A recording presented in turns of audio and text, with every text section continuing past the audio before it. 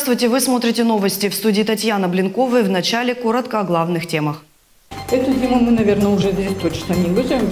Жители аварийного общежития в Солнечном боятся замерзнуть этой зимой. Стены их дома уже давно просвечивают, а переселение лишь снится. Однако в дело вмешалась прокуратура. Это всегда для организма заканчивается плачевно. Прививочная кампания в Канске. Вакцину от гриппа пробовали на себе сами медики. Эта осень, по их словам, станет особенно сложной. Внимание! Массовый забег в Канске. Более 400 жителей города решили проверить, на что способны принять участие во всероссийском мероприятии «Кросс-нации-2020». И теперь обо всем подробнее. Жители многоэтажек жалуются на холод и сырость в квартирах, поэтому в Канске решили не ждать, пока средняя температура наружного воздуха опустится ниже 8 градусов и продержится в течение пяти дней. И дали старт отопительному сезону. По распоряжению городской администрации энергетики запустили котлы. С полуночи сегодняшнего дня в домах начали уже теплеть радиаторы. Однако у некоторых отопление может появиться не сразу, рассказали в мэрии. Отпущено три дня управляющим компаниям, ресурсоснабжающим организациям, чтобы они э, вышли на режим. Никто их не торопит. Если вы видите, на улице погода сегодня тепло, и очень даже тепло, и в принципе по данным синоптикам будет такая же погода еще завтра, поэтому тихо и спокойно управляющие компании подключат дома, устранят какие-то там э, неполадки, завоздушивания и так далее в течение этих дней для того, чтобы полноценно начать отопительный сезон 2021. Власти не стали ориентироваться на температурный режим в этом году из-за благоприятного прогноза погоды на ближайшую неделю. Днем температура воздуха на улице будет все еще по-настоящему летняя, а вот ночью заморозки. Льет, как на улице, по коридорам бегают крысы, а через дыры в стенах видно соседний дом. Жильцы бывшего общежития 55-5 в Солнечном боятся, что не переживут еще одну зиму в таких условиях. Дом давно признан аварийным, да только расселять людей власти планировали не раньше декабря следующего года. В дело пришлось вмешаться прокуратуре. Анастасия Мосина расскажет подробнее. Эту зиму мы, наверное, уже здесь точно не выживем, потому что туалет на втором этаже течет с потолка. Мы будем просто кататься по льду.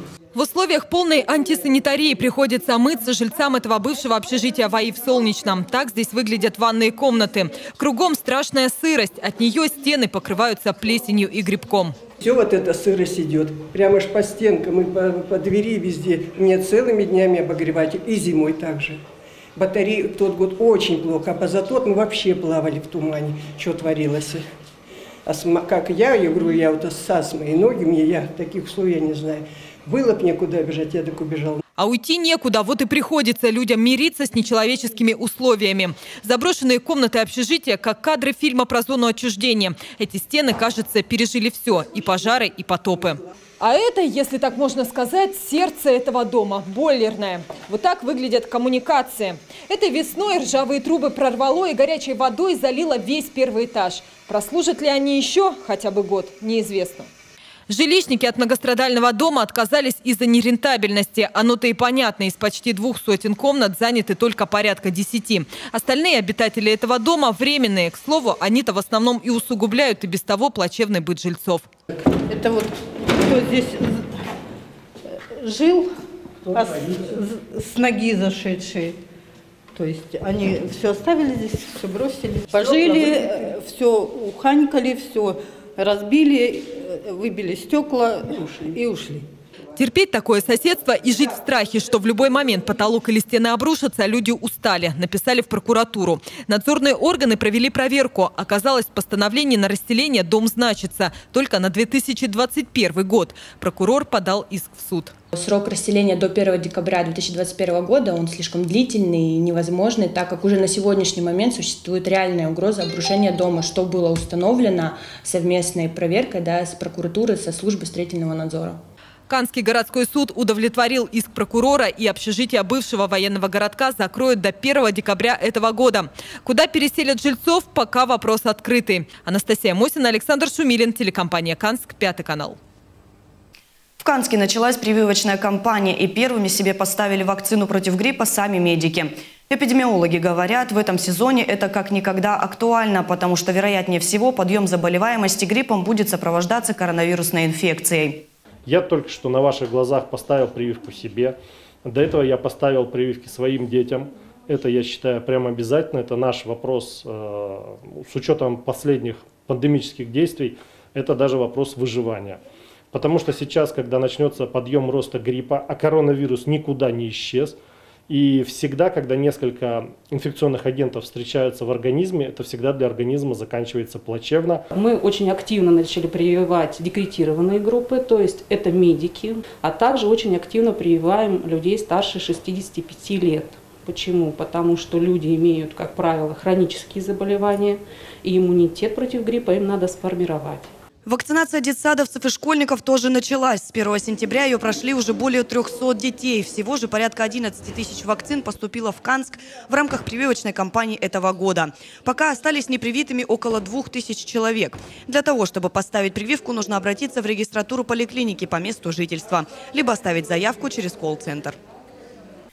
Три жителя Канска с лабораторно выявленным коронавирусом поместили на койке межрайонного госпиталя за выходные. А с начала эпидемии в нашем городе таких 368 человек. Большинство из них уже выздоровели и продолжают жить обычной жизнью. Тем временем Красноярский край сегодня преодолел порог 19 тысяч случаев заболевания COVID-19. Канск в этом рейтинге на седьмом месте, а Канский район на 32-м. Первой по количеству зараженных в списке краевая столица. Там с начала пандемии зафиксировано 8 990 случаев коронавируса. На втором месте Северо-Енисейский район с показателем 1336, в котором была зарегистрирована вспышка коронавируса на предприятии. Третьим идет Ачинск, в котором показатель заразившихся перевалил за тысячу. Что же касается ситуации сегодня, то всего за сутки сутки в крае выявили 101 случай заболевания коронавирусом. Большинство из них в Красноярске 23 и Ачинске 14. В Канске же за сутки не выявили ни одного заразившегося. Перед тем, как уйти на рекламу, покажем блок коротких новостей. 15-летний подросток из Канска отправился на машине отца в Красноярск и попал в ДТП. В Уярском районе он не справился с управлением и перевернулся. Пострадал его пассажир, друг получил серьезные травмы. Сообщается, что малолетний водитель был трезв. Начался ремонт молодежного центра. В рамках контракта до конца декабря подрядчик должен будет выполнить работы по преображению фасада, крыльца, а также помещения первого этажа. Мост через реку Тарайка уже несколько дней перекрыт для движения транспорта и пешеходов. Там продолжается ремонт. Рабочие успели заменить прогнившие балки и приступили к укладке верхнего настила. Движение по переправе должны открыть сегодня до полуночи. Месячник по уборке и благоустройству Канска в самом разгаре. До 14 октября жителям города, а также руководителям предприятий вне зависимости от форм собственности рекомендуют уделить особое внимание уборке прилегающей территории. Обещает привести в порядок зиме парки, скверы и другие общественные места. Сразу после короткой рекламы расскажем о том, как пожарные подготовили жителей частного сектора к безопасному зимнему сезону, а также о том, сколько любителей ЗОЖ приняли участие во Всероссийском дне бега в Канске. Не переключайтесь. Оптово-розничная база «Гобис» приглашает за покупками рагу от 65 рублей. Здесь представлено мясо от российских производителей. Свинина на кости от 180 рублей. Еженедельные поставки мяса, колбас и полуфабрикатов. Ребра от 165 рублей. Широкий ассортимент охлажденного и замороженного мяса и мясных деликатесов. Шея без кости от 315 рублей. Индивидуальный подход и гибкая система скидок. Комсомольская 1А, строение 2, база «Гобис». Остановка Остановка Комсомольская. Маршрут автобуса 21. Вы смотрите новости, мы продолжаем выпуск. Если в многоэтажках отопительный сезон еще только начался, то в частном секторе Канска жители уже давно топят печи. Как не допустить пожар? Об этом накануне рассказывали сотрудники МЧС. Наша съемочная группа присоединилась к профилактическому рейду. Моя коллега Валерия Черных расскажет подробнее. Идет время подготовки периоду, который начнется весной. Ежегодно с приходом холодов увеличивается количество бытовых пожаров в жилых домах и квартирах, причинами которых чаще всего является нарушение требований пожарной безопасности при эксплуатации печного отопления. С такой беспечностью граждан борются пожарные. В рамках профилактических мероприятий, направленных э, на предотвращение пожаров в частном жилом секторе, сотрудниками 27-й пожарно-спасательной части проводится рейд по частному жилому сектору. Основное внимание уделяется основам пожарной безопасности, поддержания придомовой территории. В целях предупреждения пожаров в осенне-зимний период в частном жилом секторе сотрудники отдела надзорной деятельности и профилактической работы регулярно проводят разъяснительную работу с населением. В этот раз пожарные побывали на улице Идемана. Особое внимание во время рейда было уделено семьям, где проживают малолетние дети, а также люди пожилого возраста. Пожара еще не было. Ну, так-то У вас следят за этим? У нас следят, но это вот бабушки привезли, это приедут и по это самое. Нет, у нас следят. А пожаров таких случаев не было из-за... Нет, на нашей улице пока не А вы было. сами чем пользуетесь? У вас печка, горбушка? У нас печка, мы привозили нам, мы сразу распилили, сразу убрали. Вы соблюдаете все правила? Да, мы соблюдаем, да. А бонусом к профилактической беседе стала памятка по пожарной безопасности. Ее раздали абсолютно всем участникам. Валерия Черных, Александр Минеев, телекомпания «Канск», Пятый канал. Более 400 жителей Канска приняли участие в массовом забеге «Кросс нации-2020». Несмотря на дождливую погоду, в прошедшее воскресенье приверженцы спортивного образа жизни вышли на старт. Что стало для них мотивацией, расскажет Денис Шабуров. Внимание! Марш!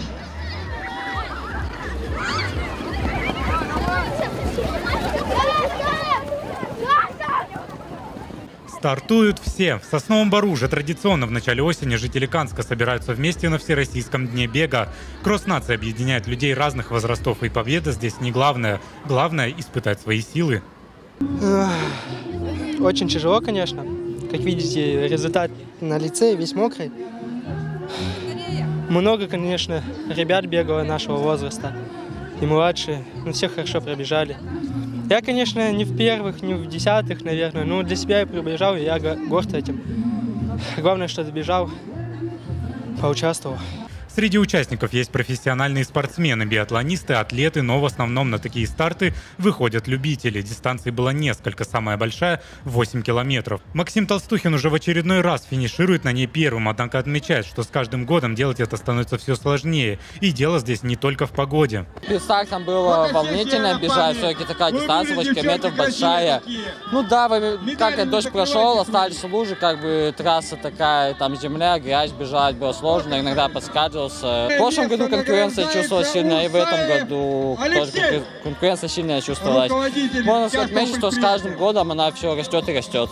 Вышли на старт в этот день и мои коллеги, журналисты Пятого канала Анастасия Мосина и Валерия Черных. Девушки достойно преодолели испытания. Их дебют оказался весьма ярким, как и сами впечатления. Это самые классные, наверное, эмоции, которые я испытывала, несмотря на дождь, все удалось и очень классно.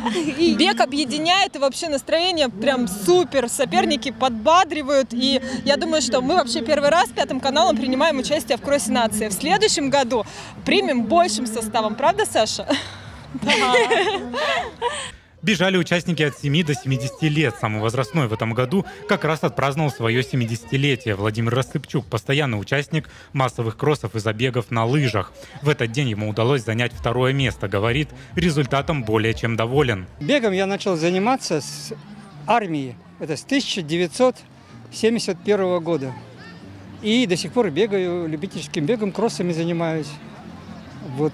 Мне нравится. Это мой экзаменационный день. Не обошлось, конечно, и без неприятных моментов, однако столкнулись с ними лишь организаторы мероприятия. В целом же, как они рассказывают, кросс удался, ведь участников было много, более 400 человек. Министерство спорта, куратор вот этих соревнований, очень скупо, э, так сказать, э, поделилась сувенирной продукцией, то есть номерами. Их всего было выделено 200, но фактически участников было в два раза больше. Чтобы получить медали и грамоты, как оказалось, не нужна специальная подготовка, спортивные разряды и достижения. Важнее иметь желание и упорство. Это и доказали участники кросса нации. Денис Шабуров, Александр Минеев, телекомпания «Канск», Пятый канал. На этом наш выпуск завершен. И напоминаю, что новости Пятого канала вы также можете смотреть и в сети телекоммуникационной компании «Орион Телеком» на 11 и 19 кнопках. В студии была Татьяна Блинкова. Всего доброго. До свидания.